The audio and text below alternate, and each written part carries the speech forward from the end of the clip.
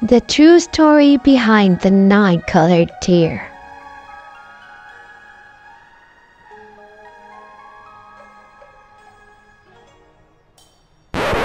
Not this one. One day, a child was lost.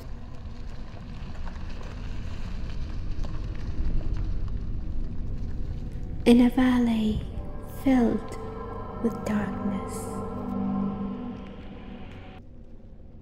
He was afraid of losing his wing power.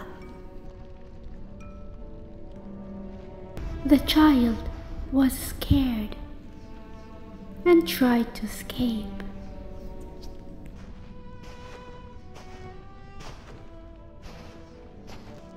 So he ran as fast as he could